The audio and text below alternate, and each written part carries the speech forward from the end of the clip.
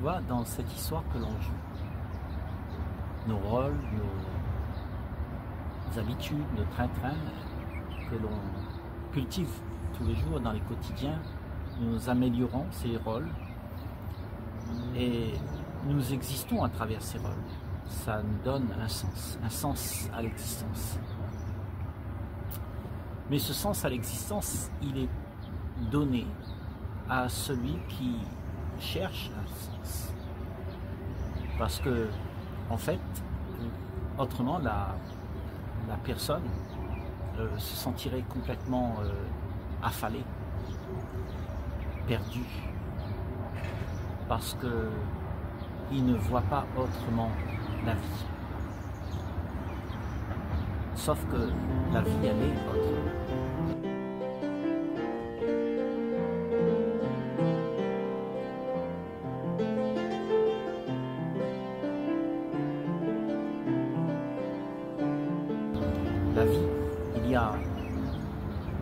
Chose qui fait que nous puissions euh, être joyeux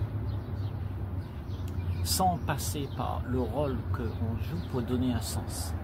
Parce que le sens qu'on donne à nos vies, ce sont des histoires que l'on se raconte pour pouvoir justement exister en tant que personnage, en tant que rôle, en tant que celui qui vit dans ce monde avec une faculté euh, pour pouvoir se faire valoir.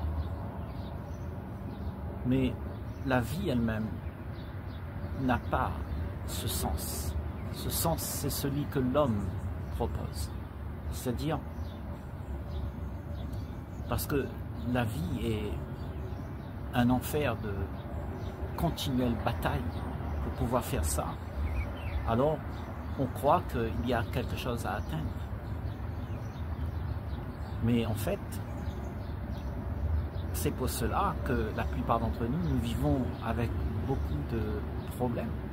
Parce que nous croyons qu'il y a euh, une vie à atteindre qui sera nous emmener vers l'apothéose, la nirvana, quelque chose qui va nous sortir de cette ambiance quotidienne que nous devons continuer constamment à faire exister pour pouvoir faire le sens puisse encore exister. Mais la vie, en fait, a un autre registre de sens. Tu es, en fait, l'essence même de ce que la vie propose. Et cette vie, elle va euh, exprimer à travers toi quelque chose qui n'a pas de sens pour le monde. Le monde attend que tu sois grand, fort, le héros, quelque chose qui puisse être conforme à tout ce qui est pensé, aux conclusions. Mais la vie, elle, elle ne te donne pas l'allure de ce que le monde attend. L'expression de la vie, c'est quelque chose que probablement la plupart d'entre nous ne veut pas euh, côtoyer. Parce que ça veut dire tout simplement que le personnage, en tant que rôle, en tant que tout ces, le sens que tu te donnes à la vie, perd de son sens. Parce que la vie te fait perdre le sens de ce que tu penses être la logique d'un but.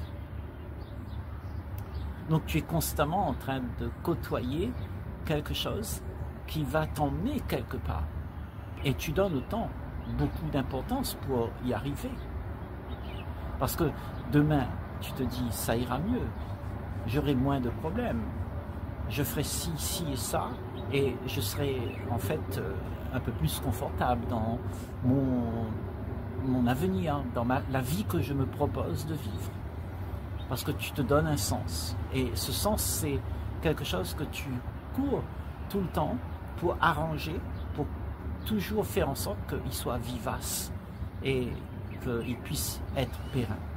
Donc ce sens est justement la zone de confort que tu te fabriques. Et tu t'attaches à ça. Alors que l'expression même de ce que tu es, c'est de l'amour pur.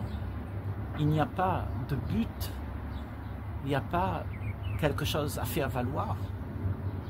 tu deviens, en, fait, le personnage que tu es devient invisible. Tu n'es plus en train de te faire valoir pour quoi que ce soit. Tu es dans l'humilité. Et cette humilité permet que le chaos ne se prononce plus. Parce que c'est celui qui donne un sens à sa vie, qui veut courir pour pouvoir être réconforté, être justifié, euh, avoir des conclusions, imposer ses, avis, son point de vue, ses conclusions pour pouvoir faire en sorte qu'il soit reconnu dans ce monde. Parce que sans la reconnaissance des autres, alors ce personnage que tu es, ce sens que tu te donnes perd de sa valeur. Et justement, c'est ce que la vie, elle a l'intention de, de te faire montrer parce que tu es dans l'illusion là. Tu es toujours en train de faire ça et tu vas le faire jusqu'à ce que tu mets le pied dans la tombe sans t'apercevoir de ce que la vie allait vraiment. La vie n'a pas de but. La vie, c'est un moment juste qui est vécu là, tout de suite, sans que demain n'a d'importance. Tu es là. Et tout se joue là, c'est-à-dire l'expression de la vie, elle se joue à travers ton, corps, euh, tes mains, tes yeux, ton visage. Euh, l'expression de l'univers est là. Et c'est ça que l'humanité, si tu veux, a besoin pour pouvoir sortir de ces carcans qu'il se propose pour exister. Parce que cette existence n'a aucun sens. Parce qu'à la fin, tu seras quand même vide, insatisfait de tout ce que tu vas faire pour pouvoir arriver à un but. Parce qu'il n'y a pas de but. En réalité, il n'y a pas de but. Le but, c'est celui que tu te donnes d'avoir et tu cours derrière euh, le gain de ton, espoir. Mais ça n'existe pas. C'est quelque chose que tu fabriques, euh, que tu inventes et que tu cours derrière pour pouvoir exister dans ce monde où tout le monde te demande d'exister en tant que euh, celui qui plaît à la galerie. Et donc on vit ces moments pour la plupart euh, dans ces histoires où l'activité devient fébrile. On continue à vouloir faire exister ce qu'on aimerait faire exister. Et ce qu'on aimerait faire exister, c'est ce que tu vois autour de nous. Le monde, la société, les, choses qui sont là, ce sont nos institutions, nos politiques, nos religions. C'est ça qu'on fait exister. Et, c'est avec ça qu'on prend du sens pour pouvoir exister en tant que personnage. Mais ça n'a pas d'existence. C'est quelque chose qui est fabriqué.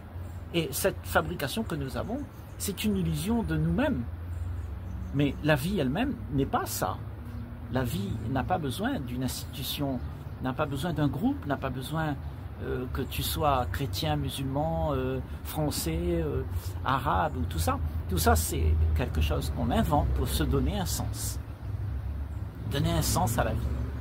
Mais tout ça, c'est vanité, éphémère, et un plaisir qui nous donne des satisfactions immédiates de savoir que tu es français. C'est immédiatement tu es satisfait de ça. Mais en fait, euh, tu es dans l'illusion d'une satisfaction euh, qui va toujours euh, te décevoir. Oh, parce qu'on n'est pas ça. Dans la réalité, tu n'es pas cela. Le sens que l'on se donne, c'est pour pouvoir jouer ce rôle d'être français. Donc tu existes en tant que personnage qui se donne un nom, une étiquette. Mais tout ça, c'est ce que nous avons inventé. Et nous l'avons passé de génération en génération pour pouvoir faire en sorte que tout le monde continue à faire perpétuer cette histoire que nous aimons bien tous. Parce que ça te donne un sens à ton existence et tu renies en fait la réalité de ce qu'il y a à vivre. En fait, tu ne vis plus la vie. Tu vis la vie que tu as fabriqué depuis des générations et des générations, on te le donne, et toi tu continues à le faire perpétuer. Alors que la vie à vivre n'a rien à voir avec toute cette euh, activité qui fait que nous nous détruisons les uns les autres parce que toute cette activité fait en fait dans l'humanité de la division.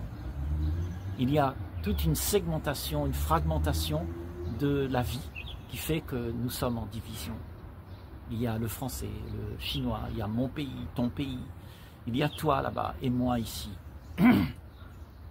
Donc on est, on est en rivalité parce que chacun regarde midi à sa porte. Parce que pour faire ses rôles, pour faire ses jeux dans la vie, ben, on a besoin d'être individualisé dans notre petite euh, vie confortable, dans notre petite bulle, chacun a sa bulle et chacun regarde euh, son intérêt. Donc, la vie n'a rien à voir avec toute cette activité. Cette activité, c'est celle qui a été proposée par les générations d'avant. Ce sont des programmes qui t'ont été donnés et que tu exécutes. Et tu crois que ça, c'est un sens qui doit être euh, élaboré pour pouvoir exister. Mais il faut savoir que ce que tu es pour de vrai n'est pas la mémoire du passé qui vient réagir avec les événements du présent. Ça, c'est justement toutes ces mémoires que nous avons gardées pour pouvoir nous donner un sens maintenant. On, on les réplique, ce sont nos références. Elles nous donnent de quoi pour continuer à exister de la même manière. Et là, on est en train de dire que la vie, en fait, elle ne t'utilise pas pour faire en sorte que tu aies un rôle. La vie, elle t'utilise pour être euh, ce que la beauté de l'univers propose au monde. Le monde ne voit plus la beauté de l'univers, puisqu'il est tellement occupé avec toutes ces choses pour se donner un sens, pour se donner une vie, pour se donner une allure, un titre, une étiquette. La vie te propose de t'arrêter, sortir de l'étiquette, sortir de toute cette activité et voir qu'il y a quelque chose de sacré, de beau. Tu sais, la beauté que tu vois partout, elle est directement en toi. La source, elle vient de toi. Quand ton fort intérieur n'est plus ballotté ça et là par les activités de ce monde, ton fort intérieur est silencieux. Et à ce moment-là, la vie émerge de cet endroit. Parce que cet endroit, c'est un endroit commun à l'humanité. C'est la conscience. Elle vient de notre fort intérieur. Et elle est en chacun d'entre nous. Et en faisant que rien n'empêche cette expression d'être, alors tu es transformé. Tu n'es plus dans le programme qui te dicte comment tes comportements doivent être. Tu es à un autre niveau où c'est la vie elle-même qui te donne la façon, l'allure, euh, la joie pour être exprimée. Et cette joie nous sauve de tout le carcan dans lequel on s'est positionné. Parce que tout ça, ces carcans, toute cette vie que l'on vit, il y a beaucoup de souffrance. Parce que nous ne voyons pas que nous sommes autre chose.